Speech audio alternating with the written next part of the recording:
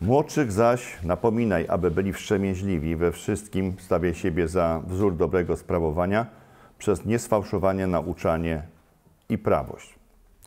Przez mowę szczerą i nienaganną, aby przeciwnik był zawstydzony, nie mając nic złego o nas do powiedzenia.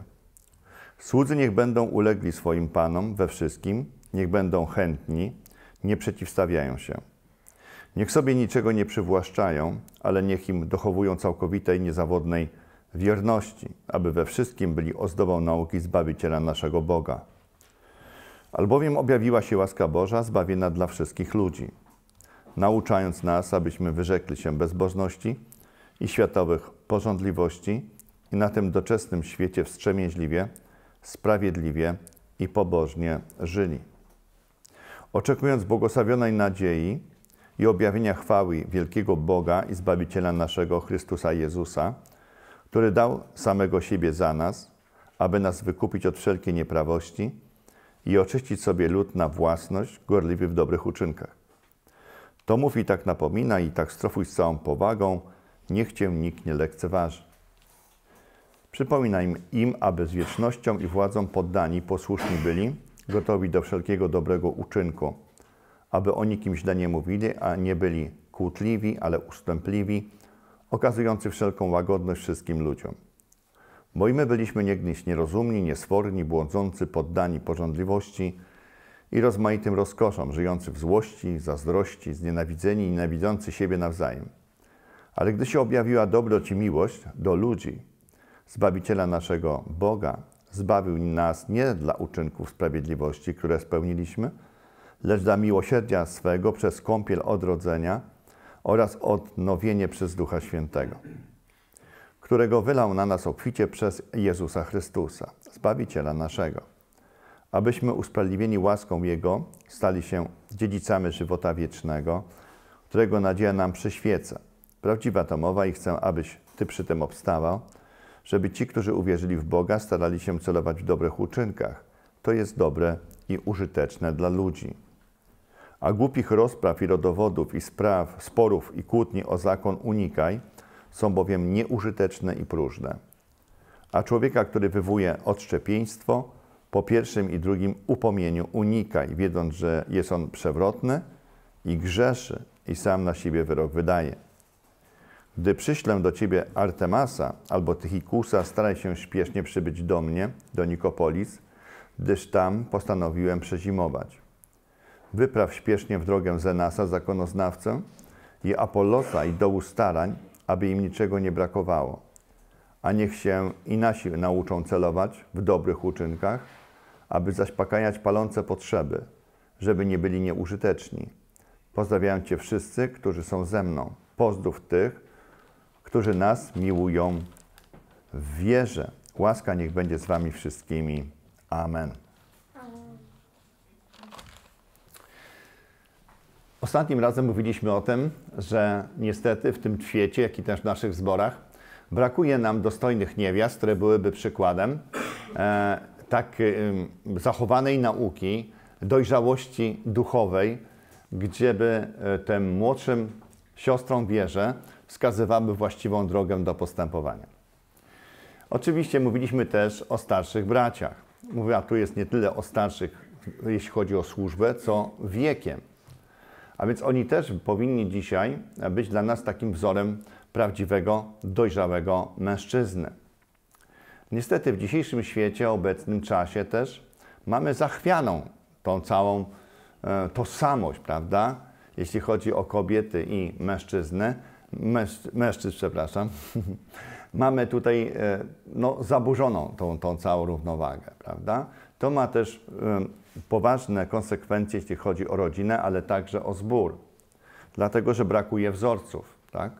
Dlatego, że Pismo Święte kiedyś uczyło, jaka matka, taka córka. Dzisiaj się już tego nie powtórzy, tak? Jakie drzewo, taki klin, jaki ojciec, taki syn. Dzisiaj już się też tego nie powtórzy. A wiecie dlaczego? Bo dzisiaj już ani e, e, dostojne niewiasty, ani dostojni mężczyźni nie są dzisiaj wzorem dla swojego pokolenia, a tym bardziej, a tym bardziej dla swoich dzieci. To ma związek z tak zwanym upadkiem autorytetu. Dzisiaj jest, mamy postmodernizm, Człowiek nie ma dzisiaj wzorców. Człowiek dzisiaj po omacku idzie przez życie i wybiera to, co mu się według niego wydaje właściwe. Dlatego mamy tak tragiczne sytuacje e, w rodzinach, mamy taką tragiczną sytuację w małżeństwach, które się ciągle rozpadają i ludzie ciągle eksperymentują się okazuje, znam już takich, co już po kilka małżeństw zawarli i okazuje się, że nadal e, nie mogą być szczęśliwi. No to z prostego względu. Brakuje prawdziwego wzorca. Cokolwiek robimy, musi być cel w tym, co robimy. Jeśli nie ma celu, nawet małżeństwo i rodzina, no to niestety eksperymentowanie przypomina mi bardziej pirotechnikę niż życie, które należy poukładać we właściwy sposób i na właściwych zasadach. Tylko w Biblii mamy e, zasady. Dlaczego tylko? Ponieważ, ponieważ mówią ludzie, że prawdy nie ma. Wszystko jest relatywne. No jeśli nie ma prawdy, wszystko jest relatywne, to znaczy nie ma zasad. A te zasady, które wynikają, e, to wynikają z czego? No, wynikają one e, z tak zwanych norm społecznych, które się ciągle zmieniają. I efekt jest taki, że te zmieniające się normy społeczne to także eksperyment. Eksperyment był kiedyś klasowy, biologiczny, a teraz społeczny, tożsamościowy. I niestety to powoduje jeszcze większe zamieszanie, zarówno w tym świecie, jak i w zborach. Jest to problem. Dlatego musimy pamiętać na to, że nie wystarczy czytać Biblię, trzeba jeszcze jej słuchać. Bo jeśli będziemy czytać Biblię, a będziemy słuchać mediów, to skończymy właśnie w tym ścieku medialnym, ale też i w ścieku moralnym. A więc to jest bardzo ważne. Musimy uczyć się rzeczy, które są absolutnie prawdziwe. Musimy wierzyć w to, że prawda istnieje. I Pismo Święte mówi, że prawda jest, prawdą jest Boże Słowo. Ale prawda jest w Jezusie, czyli jest połączeniem tej prawdy, tak zwanej teoretycznej, e, z prawdą praktyczną, czyli postępowaniem. Dlatego prawda jest w Biblii dla nas i prawda jest w Jezusie. To On jest naszym wzorem. Nawet Biblii mamy wzór małżeństwa. Oczywiście jest to piąty rozdział listu do Efezjan. Mamy się uczyć, jakim być mężczyzną i mężem i ojcem na przykładzie Chrystusa. A jaką mamy być, jaką macie być e, żoną i matką? możecie spojrzeć w to, jaki jest Kościół. I dzisiaj Kościół powinien być rodziną, nie organizacją. To też jest zaburzone, dlatego że niszczy się wszelkie więzi i stwarza się organizację. W organizacji, kiedy jesteś, ma społeczność, ale nie ma wspólnoty. Natomiast w rodzinach ma być wspólnota. I to jest bardzo ważne. Dzisiaj się zdarza na przykład, że rodzice mówią o swoich dzieciach, że to lokatorzy, bo tylko mieszkają, tylko właściwie nocują, korzystają z wszystkiego, ale tak naprawdę nie ma żadnej wspólnoty ta rodzina. Nie są wspólnotą. Żyją jak gdyby ze sobą, ale tak naprawdę obok siebie. To jest problem. No cóż, gdzie możemy tych wzorców szukać? Właśnie to jest ta, ta rzecz, że ludzie wychodząc z tego świata wchodzą do zborów i muszą się uczyć wszystkiego od nowa. To jest normalne. Bardzo często jest tak, że że właśnie ci bracia, którzy stoją na czele, którzy nie, nie zdążyli jeszcze zniewieścić, tylko są naprawdę prawdziwymi mężczyznami, oni chcą być dla tych bieżących młodych braci wzorem i prowadzić ich do dojrzałości, bo to jest celem prowadzić do dojrzałości. To nie chodzi o taki rodzaj przebywania z młodszymi braćmi na zasadzie zobacz głupku, jaki tatuś jest mądry, prawda? tylko chodzi o coś zupełnie innego.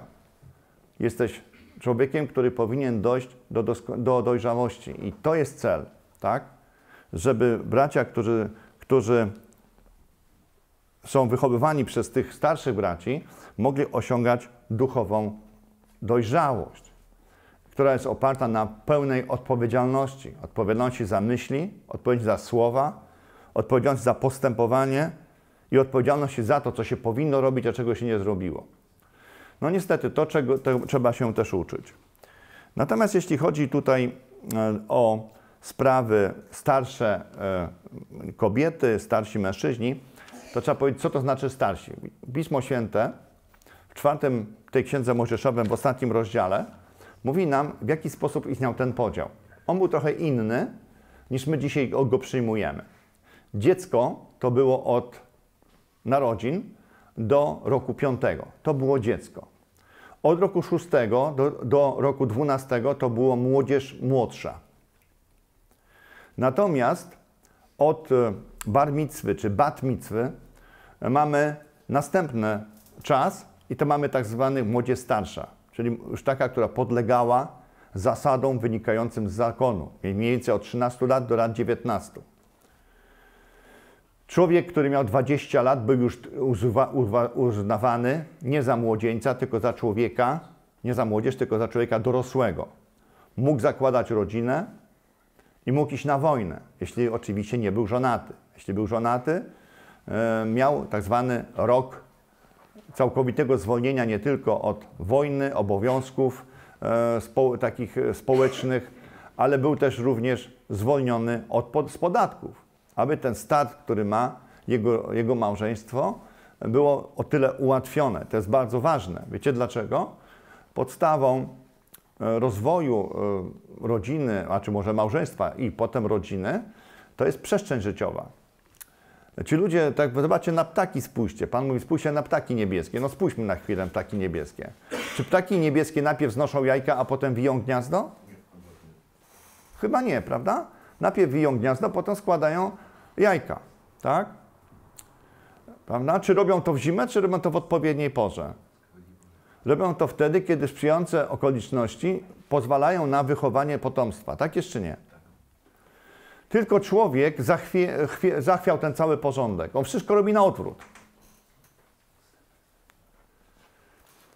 I to jest pewien problem. Dlatego tutaj Binio porządkuje te rzeczy, że ten rok czasu, który ma, ma małżeństwo, jest po to, żeby zbudować swoją przestrzeń.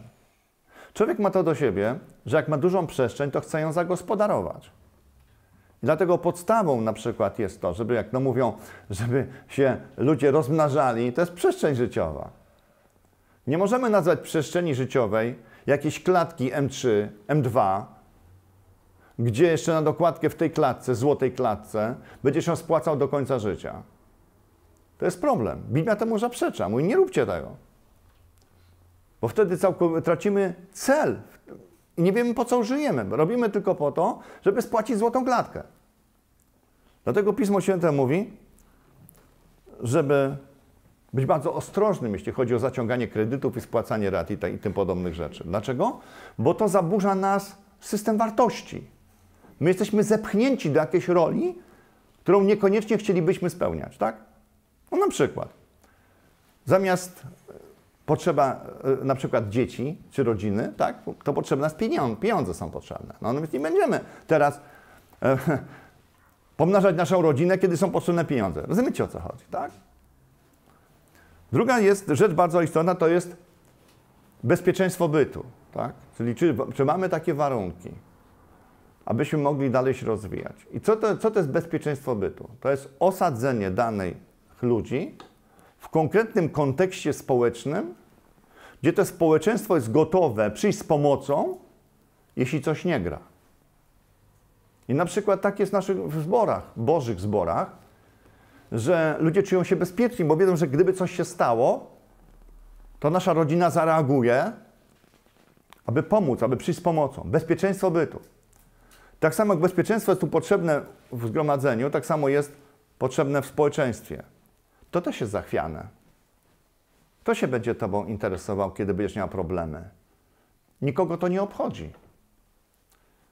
I to jest bardzo ważne, dlatego że w takim społeczeństwie te rzeczy też będą zachwiane. A potem to jest, wiadomo, to jest poziom życia. Każdy człowiek chce mieć jakiś poziom życia. Oczywiście nie mówię tutaj o tak zwanych standardach luksusu, ale uważam, że normalnym standardem jest to, aby były nasze potrzeby zaspokojone, prawda? I to jest bardzo ważna rzecz, więc to. A żebyśmy mogli mieć potrzeby zaspokojone, musimy mieć następną rzecz, jaka jest, to jest środki i sposób zdobywania rzeczy, które jesteśmy w stanie utrzymać, finansować i tak dalej. To jest praca. I to jest bardzo ważne. Zobaczcie, już w ogrodzie Eden Pan Bóg Adamowi jako terapię dał pracę. Ludzie, którzy nie mają pracy, mają problemy. Czują się bezwartościowi, byli się, czują się tacy odarci jak gdyby z człowieczeństwa.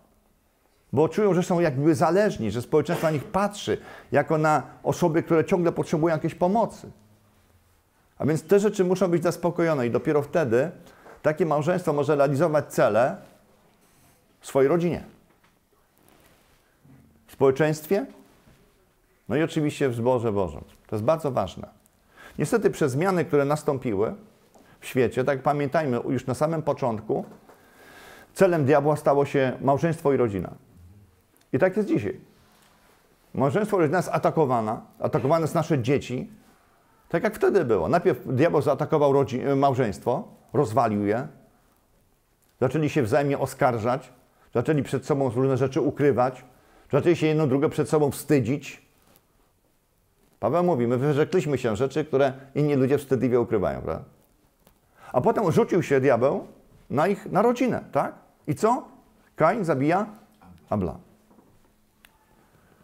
I to jest stary diabeł, który dzisiaj rządzi w tym świecie i on w ten sposób działa. Przewrócił tak w głowie ludziom, że dzisiaj ludzie potrafią robić demonstracje po to, żeby ratować karpia przed zabiciem i zjedzeniem. Natomiast nie są w stanie obronić swoich dzieci przed tym wszystkim, co w tym świecie na nich czyha i jest, prawda? Następna rzecz, wiele osób się po prostu pogubiło i zamiast zajmować się dziećmi, jak mamy dziećmi, to się nimi powinniśmy zajmować, stworzyło elektroniczne niańki i w ten sposób świat wychowuje, wychowuje dzieci. One nie rozumieją swoich rodziców. Oni nie rozumieją świata swoich rodziców. Oni myślą, że mleko bierze się z kartonu, tak? I nie wiedzą o tym, jakie procesy rządzą tym światem. Mają roszczeniowe podejście i ciągle mówią, myśmy się na świat nie prosili. Kiedyś taki pewien młody, młody człowiek, byłem w rodzinie takiej pewnej i pewien młody człowiek przyszedł, coś tam od mamy chciał, ona mu nie chciała dać, on mówi tak, przecież ja się na świat nie prosiłem. I ta matka spuściła głowę. Było jej bardzo przykro. Mówię, no nic, jak się nie wtrącę, będzie źle. Wtrąciłem się i powiedziałem tak. Mylisz się, młody człowieku. Było was prawie 50 milionów. Pchaliście się wszyscy na ten świat. I byłeś niezły, bo pokonałeś wszystkich. A więc kto się pchał na świat? No ty się pchałeś. A teraz mówisz swojej matce, że ty się na świat nie prosiłeś. Nie, ty się nie prosiłeś, ty się wepchałeś do tego świata do, i do jej życia, a teraz sobie jej, z jej życia piekło. On spojrzał na mnie, powiedział przepraszam i wyszedł. Coś zrozumiał. Coś zrozumiał. I chwała Bogu za to. I dlatego my, jako wierzący ludzie, mamy zupełnie inne zadanie niż w tym świecie jest. Bo w tym świecie zadanie jest takie, żeby wszystko postawić na głowie, a my wszystko musimy odwrotnie postawić na właściwym miejscu. To nie jest łatwe. Czy myślimy, że jak ludzie przychodzą do zgromadzenia, tak jak teraz tutaj, to myślę, że oni przychodzą tacy świetni, poustawiani, poukładani i tak dalej. A skąd? To przychodzi chaos, przychodzi cały galimatias, poplątanie z pomieszaniem, prawda, i tak dalej. I teraz my musimy okazać wiele cierpliwości, bo my nie byliśmy lepsi. I trzeba wykazać wiele miłości, cierpliwości, aby tym ludziom pokazać, na podstawie Biblii oczywiście, jak naprawdę należy żyć. I jakie życie ma wartość w oczach Bożych. I co to jest życie w ogóle. A więc mamy, mamy dzieci do 5 lat. Potem mamy od, jak powiedziałem, do barmicy, potem mamy do 20 roku życia, 20, no to jest ta młodzież rodzina, o której mówi zakładanie rodziny. I potem jest tak zwany wiek dojrzały, czyli od 20 do 60. Natomiast starcy to są już po wyżej 60 roku życia, zarówno kobiety, jak i mężczyźni. Nawet jest takie przysłowie, po kopie to już po chłopie, nie? No tak, bo już tu szczyka, tam boli, wiecie, to już się zaczynają wtedy problemy z górki, jak to mówią. Ale nie w te, z górki w tym, no wiecie, jakie górki. Z tej siły w coraz większą słabość. Tak to jest. I dlatego też powiem Wam, jak to naprawdę wygląda, kiedy się ma lat 50-60, szczególnie 60. patrzysz w swoje życie wstecz i mówisz tak. Chwała Bogu za wszystko, co Bóg wniósł w moje życie. I szkoda, że tak wiele rzeczy spaprałem, zepsułem, straciłem czas i tyle życia niepotrzebnie na różne bzdury, które były całkowicie w moim życiu bez znaczenia, a wydawało mi się, że bez nich moje życie nie może istnieć. I to jest bardzo ważne i dlatego teraz tak, czy pozwolimy tym młodym ludziom, którzy są w zgromadzeniu, zrobić dokładnie to, co my? Że będą mieli 60 lat i spojrzą sobie wstecz i powiedzą, o ludzie, to można było całkowicie inaczej zrobić. Czy pomożemy tym ludziom pewne rzeczy zrozumieć, a tym samym, aby oni uniknęli tych rzeczy, których myśmy nie uniknęli? I to jest nasze zadanie. To jest nasze zadanie, tak? To jest nasze zadanie. Nie wyręczać ich, ale pozwolić im pewne rzeczy zrozumieć, aby sami do pewnych rzeczy doszli, bo człowiek tylko wtedy może dojść do dojrzałości, jeśli bierze odpowiedzialność za swoje życie. Jak mamusia będzie synkowi myła plecy pod prysznicem do 15 roku życia, to na pewno z niego nie wyrośnie odpowiedzialny człowiek. A więc jest to ważne. Starcom, jak to mówią, dużo rzeczy długo czasu nie zostało, ale starcy powinni mieć jedną bardzo ważną rzecz. Tak, doświadczenie życia. I to jest bardzo ważne. Czy na przykład, czy są tutaj ludzie, którzy mają więcej niż 60 lat? Myślę, że są. Czy zrobiłeś bilans życia? I to jest bardzo ważne. Co to znaczy bilans? Są takie okresy w naszym życiu, że musimy je zamykać. Na przykład takim okresem jest na przykład małżeństwo.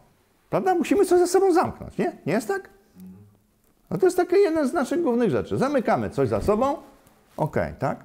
Tam są takie mniejsze etapy, na przykład skończenie szkoły średniej, e, przedtem podstawowej, potem jakieś studia, czy nie, czy coś innego, jakaś szkoła, nie wiem, rzemieślnicza, czy coś, nie wiem, co tam jest, tak? Zawodowa. Ale to są pewne takie małe etapiki, ale takie główne etapy to jest małżeństwo, tak? Całkowicie zamykasz e, swój przedział. Dlaczego? Bo w tym momencie, jak skończyłeś szkołę podstawową, możesz żyć dla siebie, nie? Średnią? Możesz żyć dla siebie. Nawet jak studia skończyłeś, możesz żyć dla siebie? No tak. Ale kiedy zawierasz małżeństwo, to musisz wiedzieć, że musisz się umieć nauczyć, że kiedy mówisz kocham, musisz zapomnieć o sobie. Łatwe? Łatwe? To zależy, jaki się ma wzór. Jak się patrzy na Pana Jezusa, to okay, tak? Czy On wisiał na krzyżu? Zapomniał o sobie? A o nas? No nie. Mamy przykład Łotra, nie? I to jest bardzo ważne, którą Pan dał zbawienie. To jest bardzo ważne. To jest wielki etap. Jeśli czegoś nie zrozumiemy i bez takiego zrozumienia wejdziemy w małżeństwo, to zamiast przejść następny wspaniały etap z Bogiem, to przejdziemy drogę przez piekło albo przez czyściec. Bo to jest bardzo ważne. Są dwie najważniejsze rzeczy w życiu. To jest zbawienie, a drugie to jest małżeństwo. Zbawienie mówi, jak, jakim komforcie będziesz żył w wieczności, a małżeństwo mówi o tym, jakim, jaki sposób będziesz tutaj, jakim komforcie będziesz żył. Nie mam, nie mam na myśli komfortu materialnego, tylko psychiczny przede wszystkim. I to są bardzo ważne rzeczy. Jeśli nie możemy zlekceważyć tak wielkiego zbawienia, to ja osobiście uważam, że nie możemy zlekceważyć życia, które nie jest łatwe. Tak? A teraz nie możemy sami przejść, tylko musimy we dwójkę przejść to życie. A jak powiem się dzieci, to całą rodziną musimy przez to przejść. Tu potrzeba wielkiej odpowiedzialności. Żeby nie być gołosłowny, ja czasami lubię dawać swoje przykłady, ale nie jakieś tam megalomana. Nie, tak? Nie. Ja się chlubię z moich słabości, tak jak apostoł Paweł o tym mówi, tak? Lepiej mówić, że, kiedy, że Bóg jest wielki, a my niestety jesteśmy mali i popełniamy błędy. Kiedy miałem 28 lat, miałem już chyba czwórkę dzieci. I muszę wam, bo się ożeniłem, e, jak miałem lat 23. Ale jak dziecko mówiło do mnie tato, to ja się oglądałem, czy to dziecko do jakiego ojca mówi. Bo jeszcze psychicznie nie byłem dojrzały do tego. Mnie to dopiero nie, nie siadało. Dopiero po 30 ja dopiero czułem to, że jestem ojcem. Oczywiście ja wykonywałem wszystko, co powinienem wykonać. Kochałem moje dzieci. Ja w ogóle kocham dzieci, tak? A szczególnie swoje, tak? I muszę wam powiedzieć, że że wykonując te wszystkie funkcje, to nie znaczy, że jak coś robisz, to jesteś o tym przekonany albo robisz to bez poczucia obowiązku, ale z poczuciem odpowiedzialności. Rozumiesz, tak? Bo jesteś dojrzały, robisz to z miłości. I musiało trochę Wiśle wody upłynąć zanim, wtedy mieszkałem nad Wisłą, musiało trochę wiele wody Wiśle upłynąć, zanim ja doszedłem do dojrzałości, aby być w pewnym tego słowa znaczeniu ojcem. A dlaczego tak było? No dlatego, że brakowało wzorców. Dopiero kiedy Bóg mnie zaczął wychowywać, zacząłem się uczyć ojcostwa od Boga. Powiedziałem nie. Będę tak wychowywał moje dzieci, jak Bóg wychowuje mnie.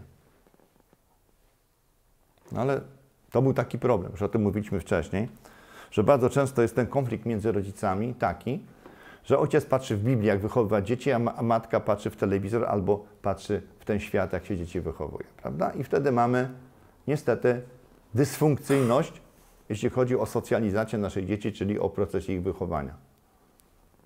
Pan Jezus powiedział, że dom podzielony, co? Nie może się ostać. I tutaj musi być jedność. Jak mamy jakieś różnice zdań, to musimy sobie gdzieś na boku porozmawiać. Bo czasami mogą być. I czasem to pogadać, ale dzieci nie, zawsze powinny patrzeć na, na małżeństwo jak na monolit. A nie jak na dwóch baranów, które cały czas ze sobą walki toczą. A więc mamy ważną rzecz, tak? Więc mamy tutaj te wzorce. Chwała Bogu za to. I teraz mówimy o tych młodszych, że ich też trzeba napominać. Ale słowo napomienie to znaczy zachęcaj, e, proś, zawstydzaj, e, tak, pocieszaj, ale też e, dopinguj, znaczy tak, inspiruj, tak, aby byli wstrzemięźliwi. A co to znaczy? Bardzo trudna rzecz to jest utrzymanie wewnętrznej, życiowej dyscypliny. To jest odpowiedzialność za swoje myśli. Jak będziesz głupio myślał, to będziesz głupio postępował głupio gadał. Odpowiedzialność za swoje słowa, dyscyplina. I następna rzecz, odpowiedzialność za swoje czyny. Bardzo często ludzie rozmywają to, bo się boją brać e, odpowiedzialności. Są takie trzy bardzo ważne słowa. Nie wiem, czy pochodzą z Biblii, ale w Biblii możemy też je włożyć. To jest taka pierwsza rzecz, która uczy pokory. To jest jakie słowo? Proszę. Proszę. Natomiast jest następna rzecz bardzo ważna, która uczy nas wdzięczności. Jakie to jest słowo? Dziękuję. Dziękuję. I jeszcze jedna rzecz, która służy, nam, mówi nam o pokorze. Przepraszam. Jeśli umiemy to mówić, to jest dobrze. Niektórzy myślą, że dobrze jest mówić przepraszam za wszystko. To jest nieprawda. Jak ktoś przychodzi do mnie mówi, bacia, cię przepraszam, pytam za co? Okazuje czasami, gdzie przepraszam na wszelki wypadek. Mówię, jeśli nie masz za co przepraszać, nie przepraszaj. Jesteś przekonany, że zrobiłeś dobrze, też nie przepraszaj, bo wtedy utwierdzasz mnie w błędzie. Że ty nie miałeś racji, a ja mam rację. Ale jeśli jesteś winien, przepraszaj. I to jest bardzo ważne. My musimy być tak, tak, nie, to nie. Znaczy asertywni. Kto ma ten z tego nauczyć? No właśnie starsi bracia. Tak? Ja myślę, że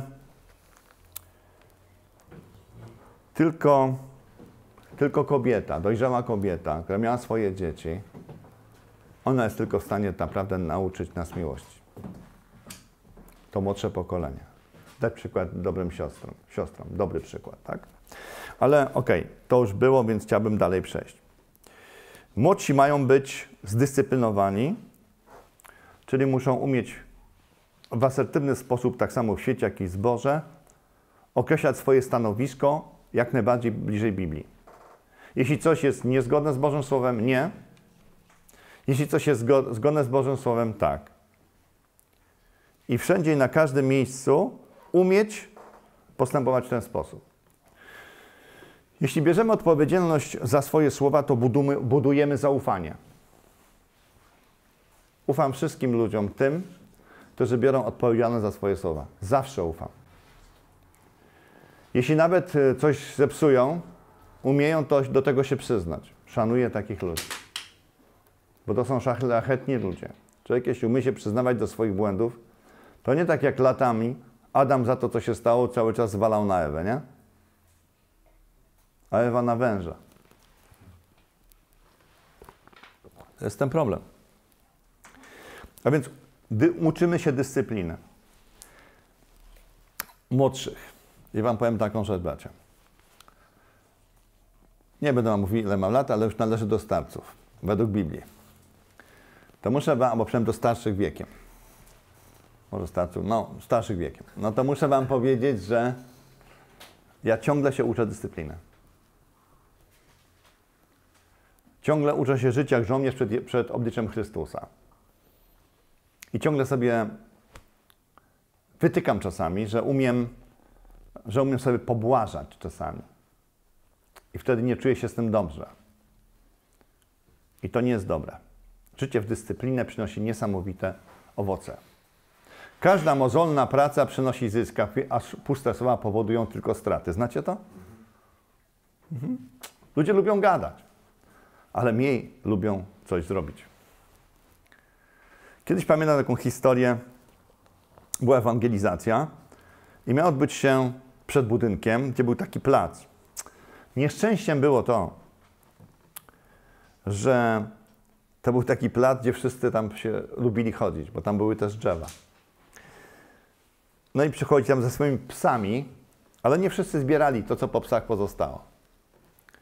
No i tam się miała odbyć ewangelizacja. Tak, dla takich tam ludzi z, z miasta, prawda, którzy nie przyszliby do zgromadzenia, ale przyszliby na ten plac. No ale kiedy już ludzie zrobili ranne, wiecie, toalety swoich psów, no to jak się spojrzało na to wszystko, no to źle to wyglądało.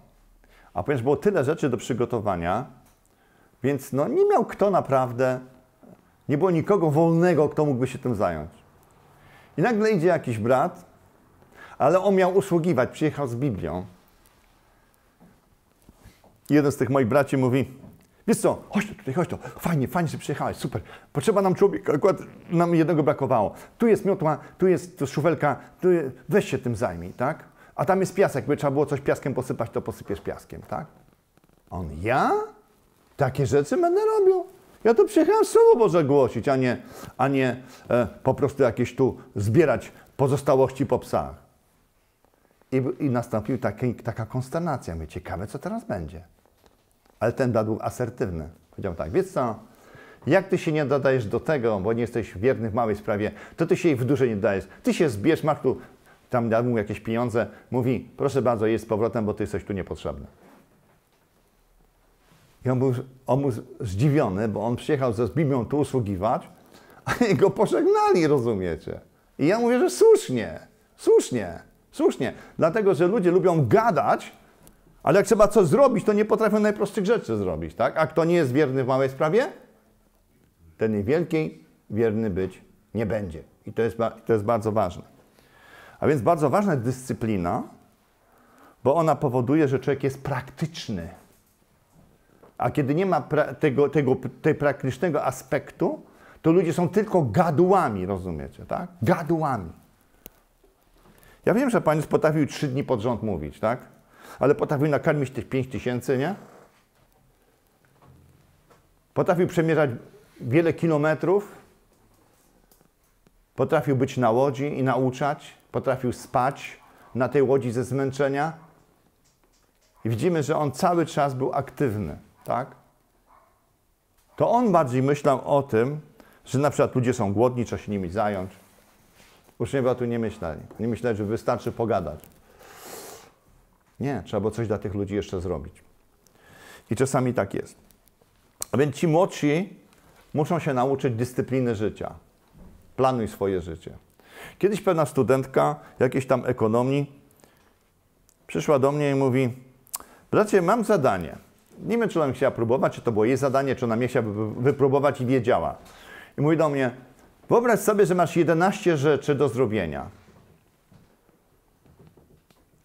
Od której byś zaczął? I od czego byś zaczął? No to proste. Siadam i planuję.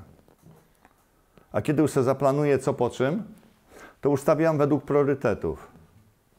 Są rzeczy, które mogę przepchnąć na później, a są rzeczy, które muszę zrobić teraz. I ona mi dobrze powiedziałaś. A skąd wiedziałaś? Ja tak żyję. Człowiek nie może żyć w taki sposób lelum po lelum z dnia na dzień. To jest problem. Nie wiem, czy wiecie, na przykład te nasze komunikatory zakłócają nasze fale EEG, powodując, że nasz mózg nie pracuje w właściwy sposób. Dam przykład. Nie miałeś takiego, o ludzie, co ja mam, zapomniałem o tym, o tamtym, nie? Nie jest tak? Twoje myślenie całkowicie ustaje. Przestajesz być konstruktywny. Przestajesz być planowany. Zawieszasz się. Dlatego o tych młodych, którzy całkowicie żyją jakiejś tam swojej własnej rzeczywistości, jeden z wykładowców tej tematyki, który się zajmował grami i wszystko, co z tym związane jest, nazywał to pokolenie zombie. Ale bardzo mi się, mu się podobało, kiedy powiem, ja to inaczej nazywam tych ludzi. Jak? Uboty.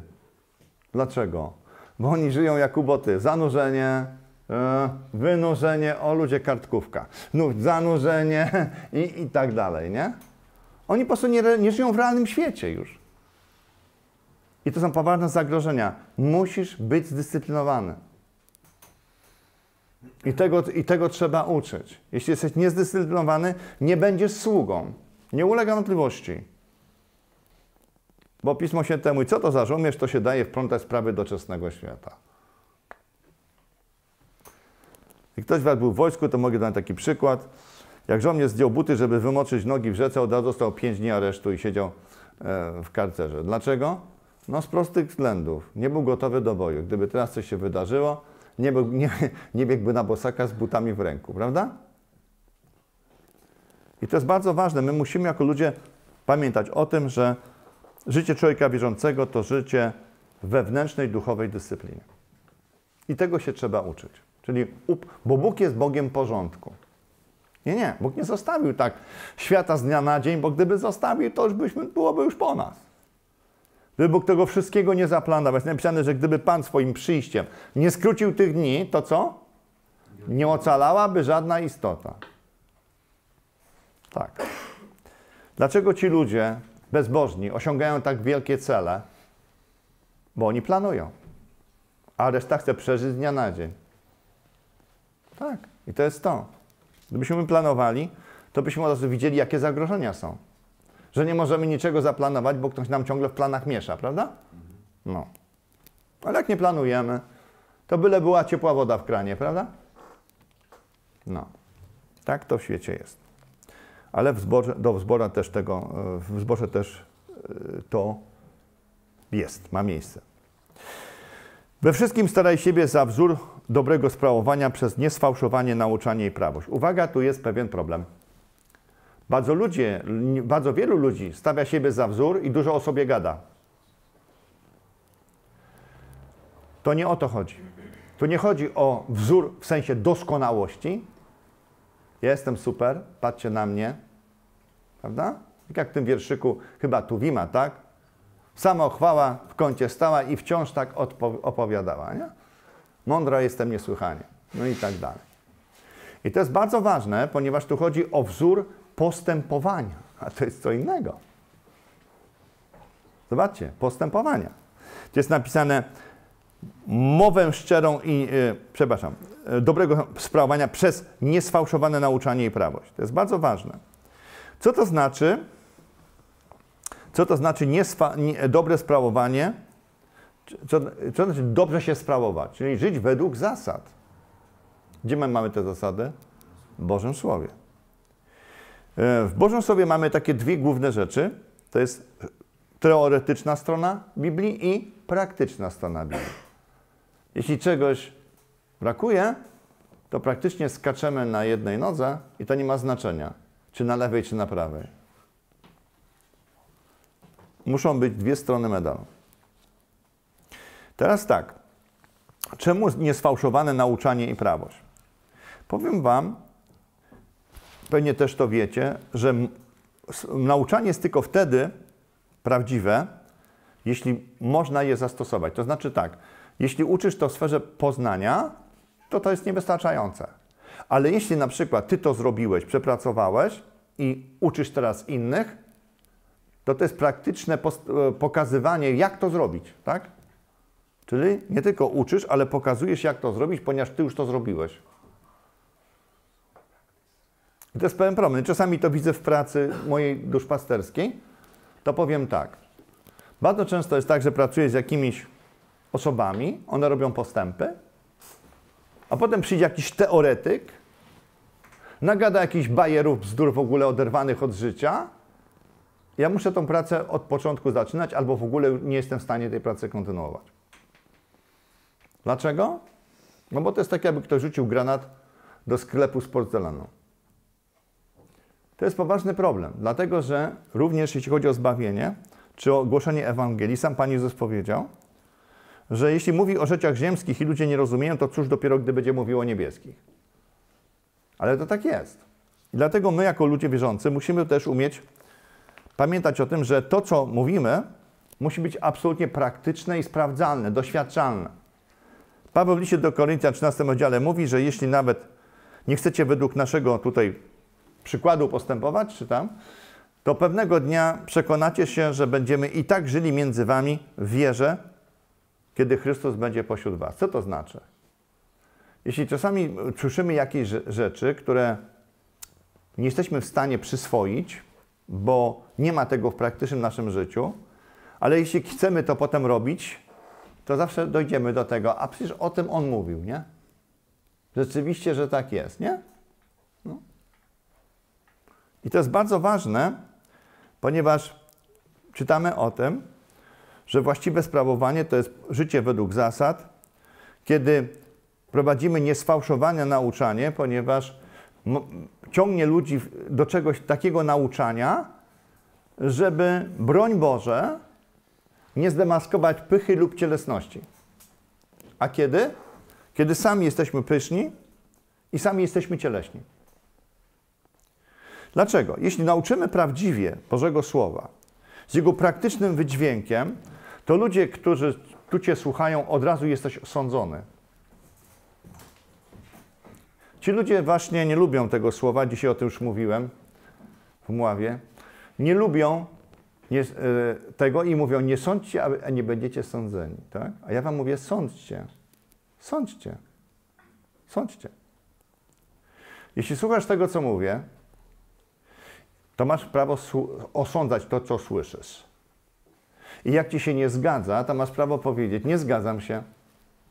Albo dopytać, dlaczego się nie zgadzasz. A to dlaczego? No bo nie jesteśmy ludźmi takimi, którzy mają przyjmować bez jakiejkolwiek asertywności to, co słyszymy, bo to nas wtedy na menowce sprowadzi. Nie? Apostoł Paweł, wspaniały dla mnie przywódca, on, kiedy był w Berei i nauczał, to co robili Berejczycy? Sprawdzali go, czyli inaczej osądzali w ten sposób, brali Słowo Boże i osądzali jego nauczanie. I co im wyszło? Że chwała Panu, zgadza się to, co mówi, tak? A jak Łukasz ich nazwał? Szlachetnego usposobienia. I to są szlachetni ludzie, bo obowiązkiem szlachetnych ludzi jest dochodzenie do prawdy. W naszym przypadku to jest tak, że jeśli raz Pan Bóg powiedział, to dwa razy masz to usłyszeć. Pierwszy raz może przez kogoś, a drugi raz Duch Święty musi to potwierdzić w Twoim, twoim sercu, że to, co słyszałeś, jest prawdą, gdyż ma, jest odzwierciedleniem tej prawdy, która jest w Bożym Słowie. A tak to mamy do czynienia z racjami. A każdy ma tak jak, z racją jest jak z uszami. Każdy ma swoje, prawda? No. Słowo tutaj bardzo ważne, prawość, które występuje, chodzi tutaj o to, żeby człowiek był zawsze szczery, taki prawdziwy, zawsze zgodnie postępujący, nie był aktorem. To jest bardzo ważne. Aktorstwo można poznać na przykład po czym? No, zadam takie pytanie. Co się pojawia, kiedy mamy do czynienia z aktorem? Sztuczność. Mówi się o patosie, tak? Czyli jak gdyby uduchowianie czegoś, co i tak już jest duchowe, nie?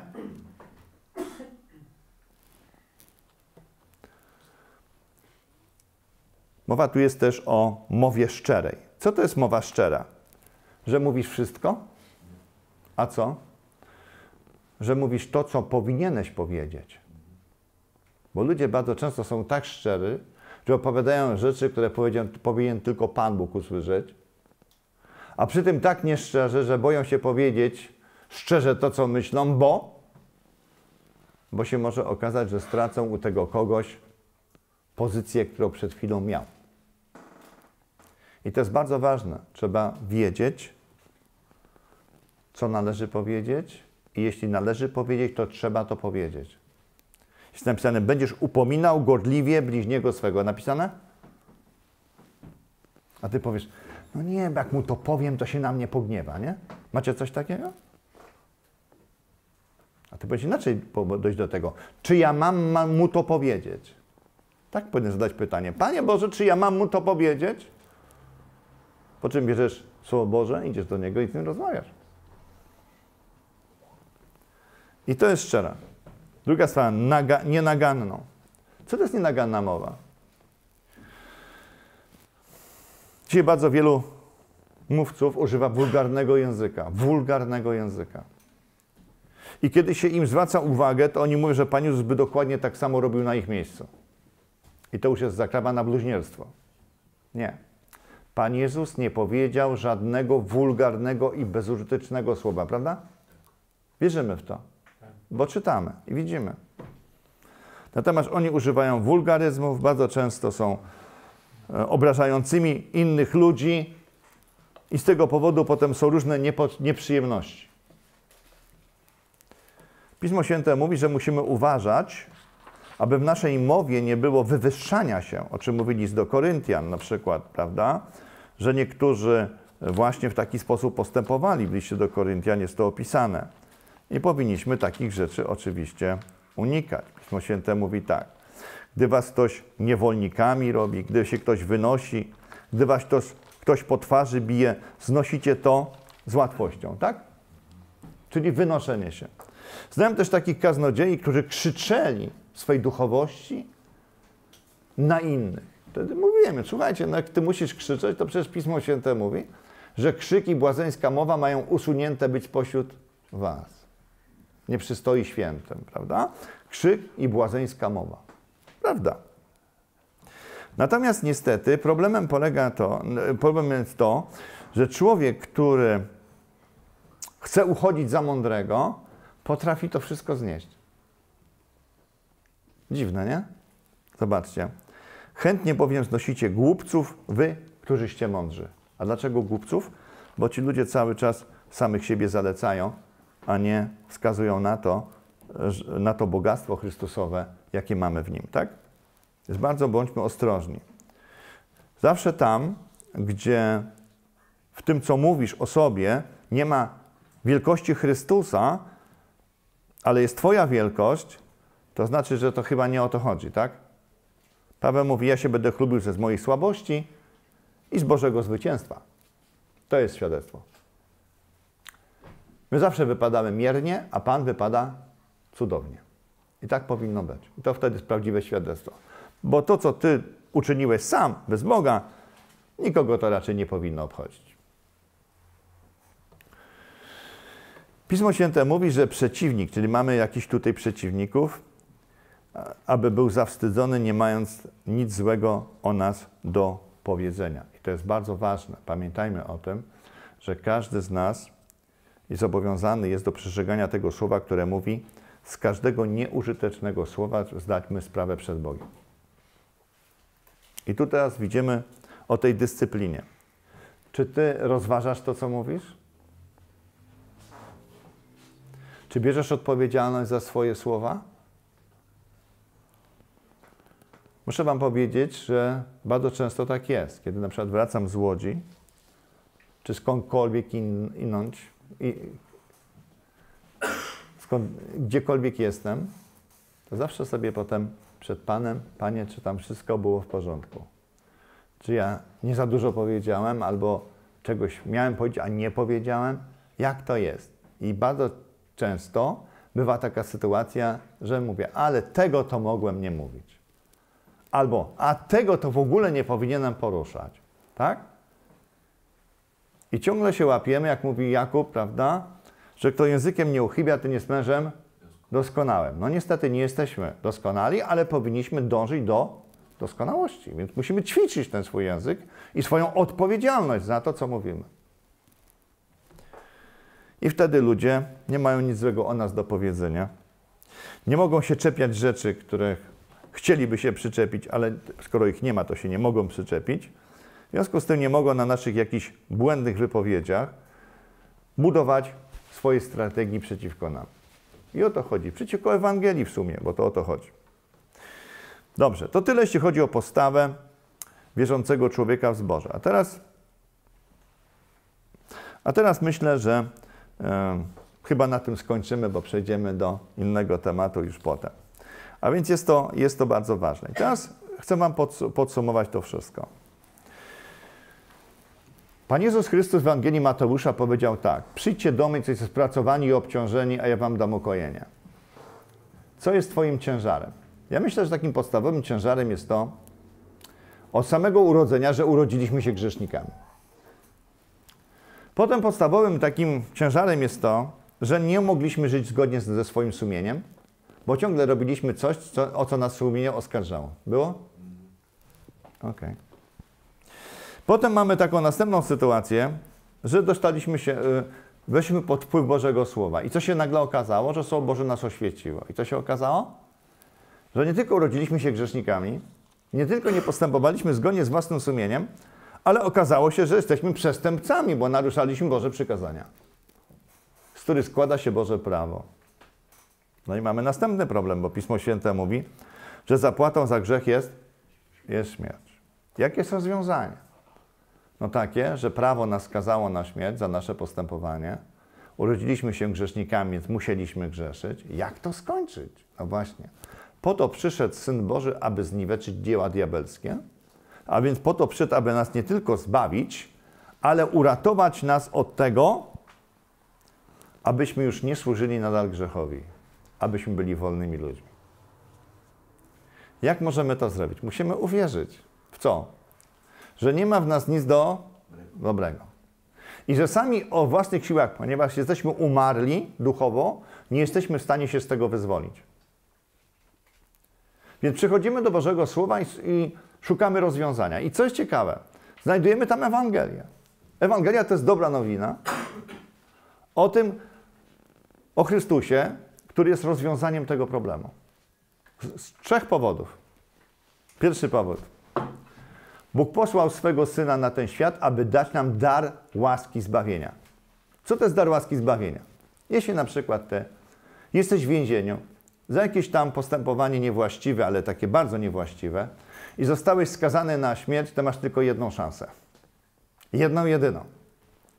Napisać do prezydenta lub głównego sędziego, w zależności od struktury tam sądowniczej, i prosić o akt łaski, czyli od zwolnienia od odpowiedzialności. I liczysz na to. I Bóg zrobił to, że najpierw pokazał nam, że jesteśmy zgubionymi wszyscy grzesznikami, zasłużyliśmy na śmierć, ale On posłał Pana Jezusa, aby za nas umarł w zastępczej swojej śmierci na krzyżu i w ten sposób wyjednał nam akt, akt łaski u Boga.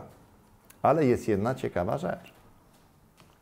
Czy kiedy prezydent podpisze akt łaski, czy sędzia, główny sędzia, wyda akt łaski, czy w tym momencie więzień jest zwolniony od kary, czy nie?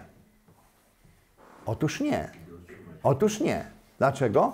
Bo on musi wyrazić zgodę, musi przyjąć ten akt łaski Bożej. A jeśli by nie przyjął aktu łaski Bożej, to ma być z nim postąpione tak, jak mówi prawo. I cóż z tego? Można, ktoś mógłby powiedzieć, że Pan Jezus za tyle, za, za ludzi umarł, tak? Ale jest, możesz być zbawiony dopiero w momencie, kiedy jesteś w stanie ten akt łaski przyjąć. Co to znaczy? Że zbawienie jest darem łaski Bożej, bez uczynków człowieka, bo nikt na to nie zasłuży. Nikt na to nie zasłuży. I to jest bardzo ważne. Zobaczcie, jak Pan Bóg to uczynił. Nie wiem, dlaczego dzisiaj diabeł, a diabeł to wiem, ale dlaczego ludzie podważają cały czas, że zbawienie jest z łaski przez wiarę, nie z uczynków, aby się ktoś nie chlubił. No co ten więzień, skazaniec mógł zrobić, aby otrzymać akt łaski Bożej? Mógł tylko wołać o miłosierdzie i o łaskę. Tak jak jest napisane, i każdy, kto będzie wzywał imienia Pańskiego, zbawiony będzie, prawda? Cudowna sprawa. Zwróćcie uwagę na następną rzecz. No skoro już wiemy, że Bóg dał, może nas zwolnić z naszej odpowiedzialności przez akt łaski, to jest akt zbawienia, to teraz musi wiedzieć, kto ten akt łaski daje. I to jest bardzo ciekawa rzecz. Kiedyś Pan Jezus przyszedł do nas, ale myśmy Go odrzucili. Teraz jest odwrotna sytuacja. To my musimy przyjść do Pana Jezusa, aby z Jego ręki otrzymać akt łaski zbawienia. Rozumiemy to? Dlatego każdy, kto jest pouczony przez Ojca, przychodzi do mnie, Pan Jezus mówi, a ten, który do mnie przychodzi, nie wyrzuca go precz. I to jest bardzo ważne. Przychodzisz i prosisz o co? O zbawienie i prosisz o pojednanie z Bogiem. Mówisz, przepraszam, zrobiłem źle. I wiesz, że w Jezusie Chrystusie masz, On jest gwarancją Twojego zbawienia. Tak? I co robisz jeszcze? Składasz Panu swoje życie, bo On Cię też przez swoją ofiarę wykupił swoją świętą krwią. To jest bardzo ważne. I teraz jesteś zbawiony, tak? Przyszedł do Pana Jezusa z wyznaniem swoim win, złożyłeś swoje życie, zostałeś zbawiony. Wiesz, że od tego nic nie jesteś w stanie dodać. Twoje życie jest w Jego ręku, a On powiedział, że kto? Ja i Ojciec jedno jesteście, nikt Was nie wyrwie z ręki mojej? Nie? Kłamał czy mówi prawdę? Jest jakaś siła, że mogłaby wyrwać nas pan, ręki Pana Jezusa? Jest tylko jedna. Niewiara człowieka. Bo Pan Bóg nie może zbawić człowieka, który nie wierzy oraz tego człowieka, którego grzechów nie może przebaczyć. Dlaczego? Bo nie zostały wyznane. Pan Bóg nie chce przebaczyć grzechów, które nie zostały wyznane, prawda? I tak dalej. I to jest bardzo ważne, żeby o tym też po prostu pamiętać. I teraz tak. Co daje Pan Bóg? Czy tylko daje zbawienie? Nie. Odpowiedzią na akt usprawiedliwienia, pojednania z Bogiem jest dar Ducha Świętego. I to jest bardzo ważne, bo ludzie mają z tym problem. Co jest, co jest owocem posiadania Ducha Świętego? Albo objawem. No co jest? Pierwsza rzecz, jaka jest, to ten Duch świadczy, daje nam przekonanie, że grzechy nasze zostały przebaczone. To Wam napisałem na podstawie Słowa Bożego, abyście wiedzieli, że odpuszczone są Wam grzechy dla imienia Jego. Jeśli to zrobiłeś, są Twoje grzechy odpuszczone. Druga rzecz, ten to Duch świadczy wespół z Duchem naszym, że Amen. Na podstawie Słowa Bożego Bóg to mówi. Chwała Panu. Następna rzecz, która jest, w Bożym Słowie oglądamy Pana Jezusa, bo słyszymy Jego głos i On nas przemienia w swój obraz. I to jest ciągła przemiana aż do Jego przyjścia. To jest coś pięknego. Dlatego Pan powiedział, że z człowiekiem nowonarodzonym jest jak z wiatrem. Nie widzisz Boga, ale słyszysz Jego szum. My mamy to samo. Przechodzimy do Biblii, nie widzimy fizycznie Boga, ale Jego słowo dociera do naszego serca. Następna rzecz.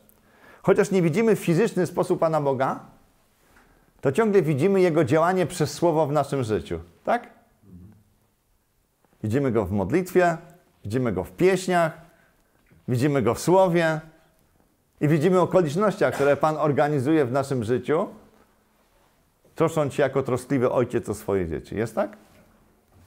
A ponieważ Duch Święty dał nam nowe życie, nie służymy już nadal grzechowi, tylko służymy Chrystusowi, bo jesteśmy wolni. No dobrze, fajnie. Co jeszcze? Dalej uczymy się już teraz od Chrystusa, że jesteśmy cisi i pokornego serca. Co to znaczy cichość? Umiejętność ograniczenia się w tym świecie do rzeczy, które Pan nam dał. Bo w tym świecie świat, wiecie, jest takie powiedzenie, pół piekła za mało, a całe za dużo, prawda? Pół świata za mało, a cały świat za dużo. Człowiek ma ten problem bardzo często. Człowiek wierzący to jest człowiek, który umie chodzić w łasce Bożej i poprzestawać na tym rodzaju życia, które jest wypełnieniem woli Bożej w naszym życiu. A druga sprawa, uczymy się pokory. A co to jest pokora? To jest umiejętność zajęcia miejsca, nie tylko w tym świecie, w rodzinie, w małżeństwie, bo też, ale też również i w zborze pańskim, tak? Dlatego Paweł mówi, niechaj nikt o sobie nie rozumie więcej, lecz stosownie do wiary, której Bóg każdemu z nas udzieli. Tak. I to jest bardzo ważne. Jesteśmy. Ale jest jeszcze jedna ciekawa rzecz. Pan Jezus mówi tutaj o jarzmie. A jarzmo jest czym? Patrz, przyszliśmy do Niego, złożyliśmy Mu grzechy, tak? A co Pan teraz mówi? Weźcie. Co mamy wziąć? Jarzmo. A co to jest, co, czego jest jarzmo? Jarzmo nie jest obrazem niewoli tutaj, tylko jest obrazem służby. Życia dla Boga e, w społeczności z Chrystusem. Bo jarzmo jest zawsze na dwóch, nie? W tym przypadku, nie? Więc jednym, jednym, z jednej strony Pan Jezus, z drugiej strony ja. Dlatego jarzmo moje jest miłe, tak? Czy wdzięczne? Miłe. Dlaczego? Bo jest tam Pan Jezus w naszym życiu. A brzemię jest lekkie. Bo jeśli jest Pan Jezus, to chodzisz z miłości. A wszystko, co robisz z miłości, jest przyjemnością. Natomiast to, co robisz z obowiązku, zawsze jest problemem, prawda? Dla nas. Dlaczego? Dlatego, że obowiązek bardzo często musimy stoczyć walkę ze sobą, aby coś zrobić, jeśli to jest obowiązkowe. A jak czegoś pragniemy, to po prostu to robimy, tak? To jest bardzo ważne. No nic. Kochani, niech Pan pobłogosławi swoje słowo, ale Wam powiem jedną rzecz. Jeśli chcesz być oczyszczony ze swoich grzechów, to drogę już znasz.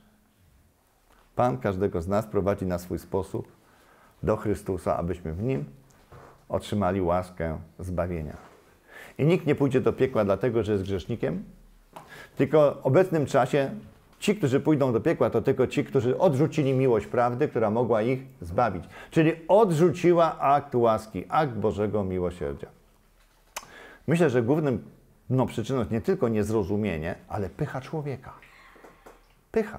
Nie wiem, czy słyszeliście o tym, kiedy Pan Bóg woła na rozliczenie Kaina, to co on mówi?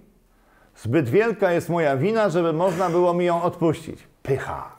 A? On chciał odpokutować, odcierpieć za, za swój grzech. Czyli tak samo ludzie w swojej pysze czyściec ustanowili, bo chcą odcierpieć za swój grzech. Ale gdyby można było odcierpieć za swoje grzechy, to ofiara Chrystusa jest zupełnie niepotrzebna, nieprzydatna do niczego. Ale Pan umarł na krzyżu Golgoty i zmartwychwstał, wstąpił do nieba. Właśnie dlatego, abyśmy takiej drogi nie, nie szukali. Bo Pan powiedział, ja jestem droga, prawda i życia, nikt nie przychodzi do Ojca, tylko przeze mnie. W Nim jest życie wieczności. Masz Pana Jezusa, masz przebaczenie, pojednanie, masz Ducha Świętego. Po prostu masz w Nim wszystko, a żyjesz, a żyjesz w procesie uświęcenia. I każdy dzień to jest oglądanie chwały Chrystusa. Gdzie oglądamy to chwałę Chrystusa? W Bożym Słowie jest napisane, jak zwierciadle oglądamy chwałę Pana i jesteśmy przemieniani w ten, z chwały chwałę, w ten obraz, którym jest Pan, który czyni to przez Ducha swojego, Ducha Pańskiego. No cóż, niech Pan, Jezus Chrystus będzie uwielbiony. Kochani, przyjdź do Jezusa dziś jeszcze czas. Jak to mówią dalej? Uszły z głos Jego, nie bądź jak głaz. Amen.